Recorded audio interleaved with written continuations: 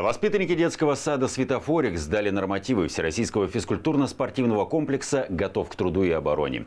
Площадкой для проведения испытаний стал спортивный зал дошкольного учреждения номер 54. За успехами детей наблюдала наша съемочная группа.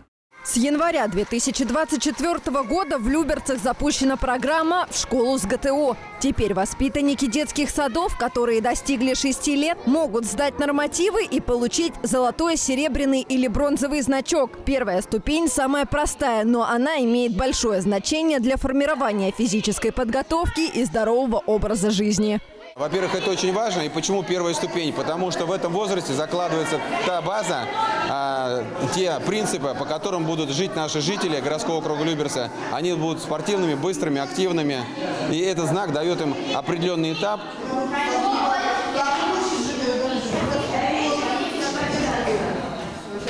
Ну, судьи центра тестирования внимательно следят за техникой, ну, прежде чем они проводят разминку, объясняют, как правильно выполнять то или иное упражнение и, соответственно, контролируют, чтобы дети там заступа не было, там фальстарта, ну и такие вот технические небольшие моменты.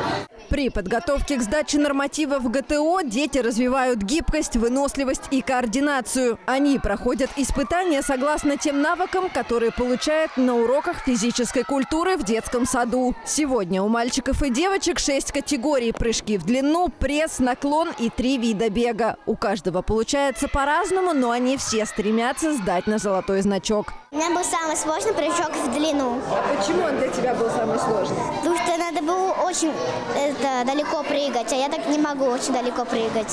Но я все равно буду учиться. Я был на прыжках в длину, на прессе и на наклоне. Мне заниматься спортом. Я хочу золотой значок.